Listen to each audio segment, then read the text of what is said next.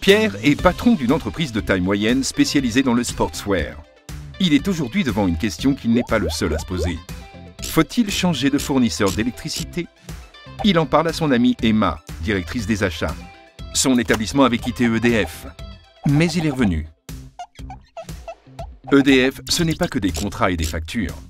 Emma a été conseillée efficacement après un audit sur la consommation d'énergie de plusieurs établissements et a pu réaliser des travaux avec l'appui du groupe EDF. Le résultat ne s'est pas fait attendre. Le kilowattheure le moins cher est celui que vous ne consommez pas. Et quand il s'agit de s'engager vers une attitude zéro carbone, Emma a trouvé auprès d'EDF un accompagnement pour contribuer à la transition énergétique. Aujourd'hui, il est possible de produire sa propre électricité grâce au vent ou au soleil et aussi de la consommer sur place ou la revendre.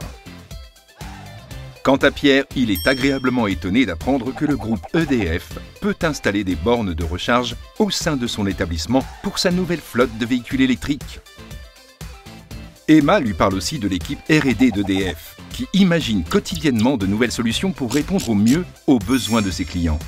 Pour innover, l'expérience et l'expertise, c'est un véritable atout. Emma a trouvé chez EDF plus qu'un simple fournisseur.